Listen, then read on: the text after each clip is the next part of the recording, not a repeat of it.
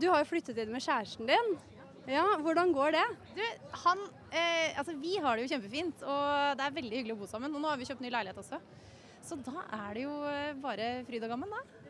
Eh, når var det dere gjorde det? Ble du satt ut nå? du, vi kjøpte ny for eh, Hvor lenge siden er det? Det er tre uker siden eller noe sånt.